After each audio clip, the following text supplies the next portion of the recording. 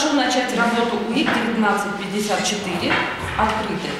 Секретаря комиссии прошу выдать членам комиссии бюллетени. Две минуты девятого. Виктория, жительница Больших Везем, главный специалист Одинцовской теплосети, решила прийти на избирательный участок с утра, чтобы успеть на работу. Один из членов комиссии и двое наблюдателей едут у нас, э, будем готовиться к выездному голосованию. Режим работы операторов, слесарей и аварийных бригад непрерывный, поэтому члены УИКа направляются к ним с переносными ящиками, чтобы сотрудники коммунального предприятия смогли сделать свой выбор, не отрываясь от служебных дел. Спасибо.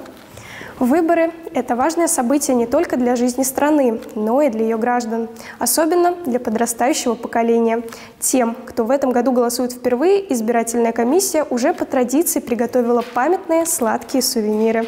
Первый день голосования только на этом избирательном участке шоколад вручили трем 18-летним избирателям.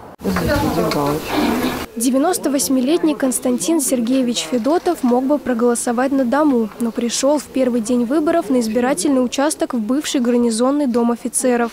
Участник Великой Отечественной войны признается, это событие знаковое не только для нашей страны, но и для всего мира. Решается судьба, судьба, а это очень знаменательно, очень важно.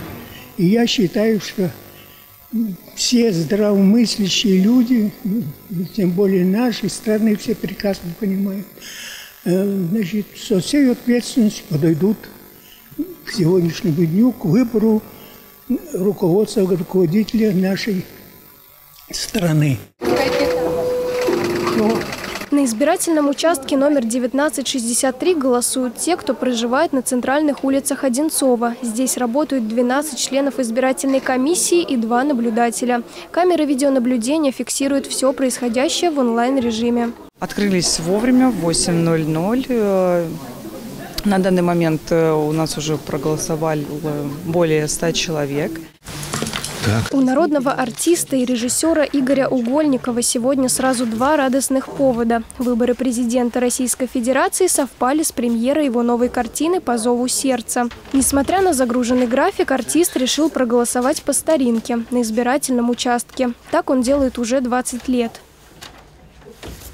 Я голосую всегда а, и считаю это необходимым и безусловным а, что должен делать гражданин страны. А сегодня заканчивается мое удостоверение доверенного лица президента Российской Федерации. Я выполнил свой гражданский долг.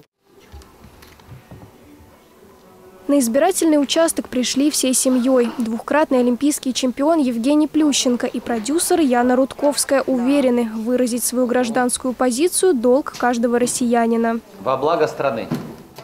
В это сложное время все должны встать с кроватей и проголосовать. Это важно. Важно, как Яна уже сказала, для нашей страны. Я это полностью поддерживаю. И в год семьи просто ради наших детей, во благо наших детей сделать свой выбор. Общественники, представители кандидатов в президенты и политических партий, СМИ, около 150 наблюдателей из 15 стран, члены миссии СНГ следят за ходом голосования в Центре общественного наблюдения за выборами. Именно сюда поступает сигнал со всех камер видеонаблюдения, установленных на избирательных участках региона. Было интересно посмотреть, как проходит избирательный процесс. С одной стороны, есть понимание, что э, сейчас самые главные выборы, выборы президента Российской Федерации. С другой стороны, есть переживание, что могут быть разные провокации, и сейчас здесь в особенности необходимо посмотреть, как это все происходит, чтобы наши избиратели смогли сделать свой выбор, и при этом это было комфортно, доступно для всех. В Одинцовском округе с 8 утра и до 8 вечера работают 173 участковые избирательные комиссии. Впрочем, у жителей региона есть возможность сделать свой выбор и дистанционно через портал госуслуг. Голосование на выборах президента России завершится 17 марта в 20.00. Олеся Лукина, Карина Еряшева, Татьяна Верниковская, Артем Ломоносов, Денис Харламов, Станислав Трифонов, телекомпания «Одинцова».